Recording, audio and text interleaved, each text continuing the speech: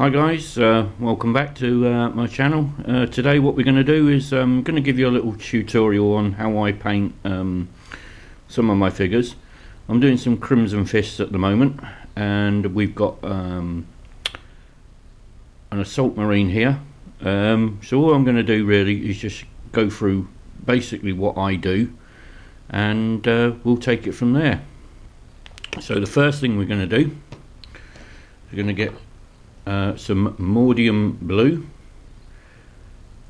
It's not the new paints but I'm using up all my old uh, stock of paints at the moment. So we just take some some of the paint put it in your palette. Add some water to it. So you get a nice uh, flowing consistency there and then what we're going to do is we're going to go over all of uh, the figure.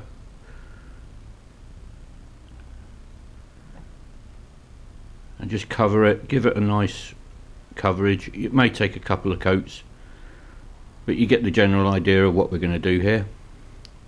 So I'm going to carry on and do that and when it's finished um, we'll come back. Hi guys. Um, here we are back again. We painted them all uh, blue.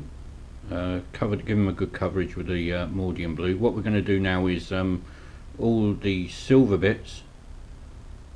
We're going to go over um, anywhere that needs to be uh, silver. We're going to go over with bolt gun metal. As you can see, I've started on the uh, the chest um, plates there. Um, I'm going to do the gun, um, the little grills inside that. Um, the sword and uh, any little skulls and that like on the back of the uh, jetpack there. Um, we're going to paint those silver any pipes or anything that need to be silver as well. We're going to paint with bolt gun metal. Um, also we're going to do the gloves. Um, they are going to be um, Mechrite red foundation paint. Uh, and when I've done those um, we'll come back. Okay? Okay guys we're uh, we're back. We've now done the uh, silver um, the red. And as you can see all the silver and the red is uh, covered nicely. It's got a nice covering of the uh, Mordian blue on there. Our next step what we're going to do is we're actually going to give it uh, a wash. So um, just going to give it a, a wash of Badab Black everywhere all over every part that we've just painted. So the whole figure is just going to get uh, a good wash of that. Use a, a fairly good sized brush like a, a, Citadel wash brush. That's the uh, that's the ones I do for that. Don't bother using your good brushes because it will ruin them so that's what he looks like at the moment guys.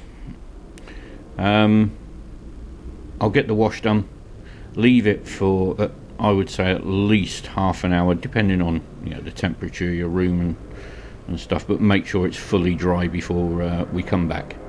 Okay, guys, I'm going to get on with that, and um, I'll see you in a little while.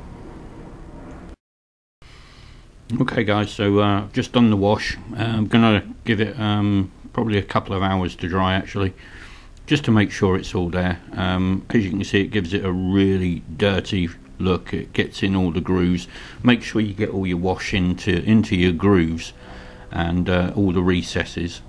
Um, and if you get any air bubbles make sure you try and get those out as well because otherwise that's going to leave some nasty marks all over your figure. And you really don't want that. Not after all this hard work that you put in so far. Okay um, so you've covered the whole lot with the wash um, the Badab black wash. Um, let it dry and then we'll come back and we'll show you how to highlight it and, and bring it back up. Okay guys thanks very much.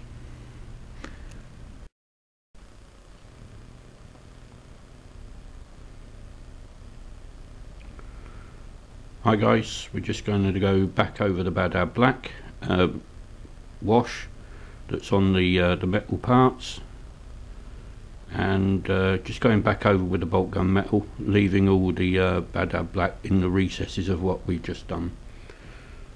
So as you can see it's just uh, just going back over what we've already done but leaving that lovely Badab black in there to to shade it all up.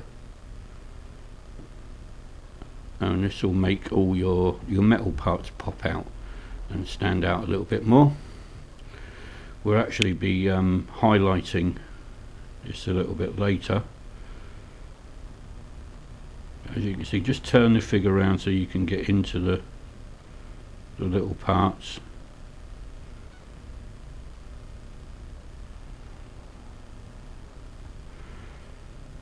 Okay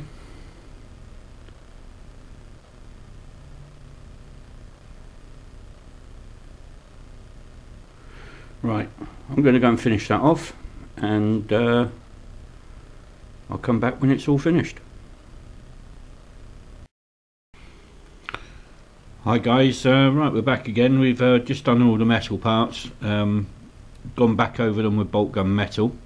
Uh, what we're going to do now is go over all the uh, red on the gloves. Uh, we're going to do that in two parts. Um, the first part will be to um, just go over it with uh, red gore this time, which is Citadel paint. And then we're going to uh, highlight that with um, just on the very edges where you think the light will catch it. For instance as the light if the light was coming down this way we'd be uh, just highlighting at the top here uh, with um, blood red. Okay? So what we're just literally going to do is uh, get some paint on your brush very tiny amount. Put that into your palette. Again add a little bit of water to it. Not too much but enough to make it flow. And then what we're going to do is just go over all the red but leave some of that Badab black wash in um, the recesses and just go over it over the red until you've got a good coverage. As I say leaving the Badab black inside um, all the recesses do you know, define all the, the shapes and that of the gloves and give it uh, some good shading. So that's what we're going to do. I'm going to go ahead and do the rest of those uh, and then we'll come back and we'll we'll highlight that up. And then we'll um, start to highlight the uh, the blue up as well which we're going to use uh, ultramarine blue for. Okay guys I'll see you in a little while. Hi guys, right, um, we've just highlighted the uh, the red on the gloves then. Um, as you can see, what we've done is we've uh, still left some of the red gore showing and just highlighted uh, with the blood red where the light is going to hit the gloves. So that's that. That's what that. Uh, that's the gloves now highlighted and finished. So what we're going to do now is we've got ultramarine blue, which is what we're going to do some um, line highlights uh, what I do is I make a fairly um, runny consistency paint for this use a fairly um, small brush the brushes I use are um, Winsor Newton series 7 brushes. A bit expensive but hey they'll last you a lifetime if you look after them so get some paint on your um, on your brush. Rub most of it off like you would if you were dry brushing. And then what I do um, is I just use the edge of my brush and go along the very edges lightly touching. And you'll see the paint coming off which is going to give you a very very fine highlight. And it's not going to saturate all the uh, the other color which is already on there. So what you need to do is you need to go around all your edges it's going to take you a while but the end result is is well worth it. Um, when you're getting onto the uh, the straighter flatter uh, parts which which will need the highlights just try and use the tip of your brush and, and use some some brush control as you can see my hands. I keep my hands very close together. Gives me a bit more control over over where my brush is going right I'm going to carry on and do that and I'll come back and show you when it's finished. Okay guys um, here you can see we've uh, we've done the uh, blue highlights around all the edges. The red highlights have now been done. The figure is nearly complete now um, but what we're going to do now is we're going to do the eyes and this is something that I found um, really difficult to do. But it's really easy once you get the hang of it. So what we're going to do is we're going to start with some red gore. And use I use quite a small brush for this but make sure your paint is thin. Make sure you have um, a really thin paint so I mix the paint up I rub all the paint off of the brush making sure I'm left with a fine point. Twist the, the brush into the paint so you get a you get a point onto your brush. And then what I do is I find out where the eyes are start at the back corner and drag that forward and that's for the first eye.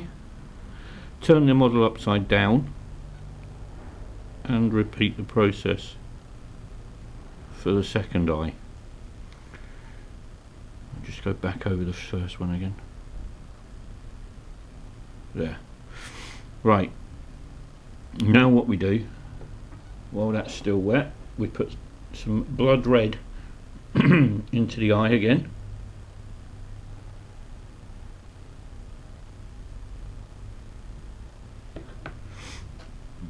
and what I'm going to do is I'm just going to start about two-thirds of the way towards the front of the eye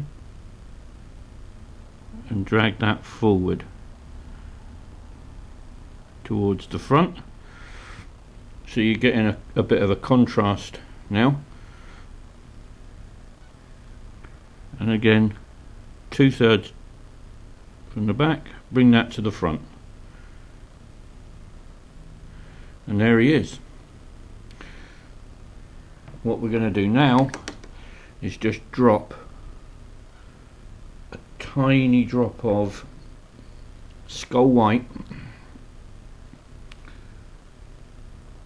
And I mean it's just got to be a very very tiny drop of this.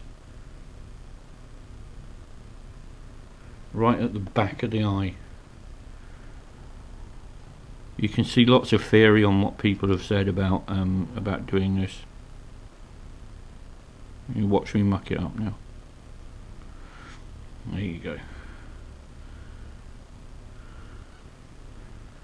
and just get it held right there and there you go So that's that one done. We're just going to base him up now. Let me know what you think. Um,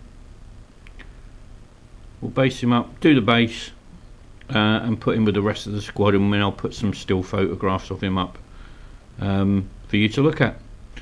Remember, as always, guys, please rate, comment, and subscribe. And I hope that um, this has been helpful to some of you out there. Thanks very much, guys. Take care. Bye.